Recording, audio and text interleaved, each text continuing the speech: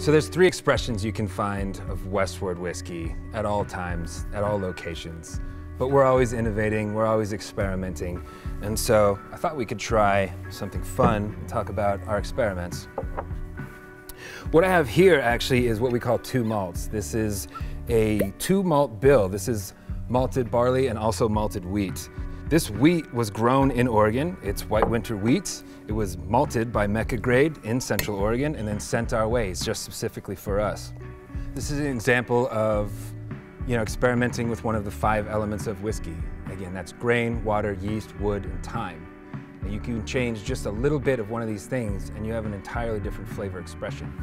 So we're constantly experimenting with a bit of different grain, a yeast strain, a different finish of wood, these all matter. These all make differences in the whiskey, and this is no exception. This is something that we are actually just now releasing through our club, uh, and so it's a bit of an exclusive sneak peek.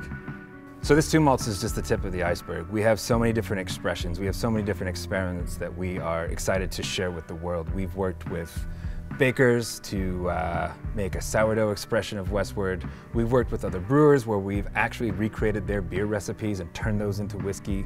We worked with wood finishes. We've worked with Oregon oak itself to age our whiskey. Um, I mean, really, the sky's the limit, and, and this is something that we're constantly doing.